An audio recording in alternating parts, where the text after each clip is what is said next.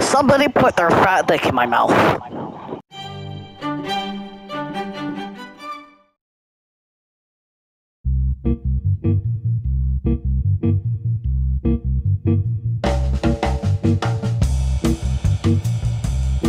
I'm kind of a big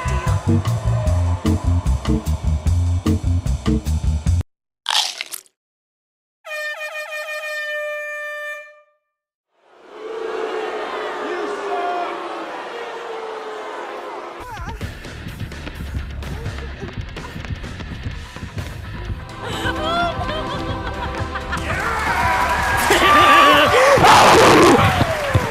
Get debated!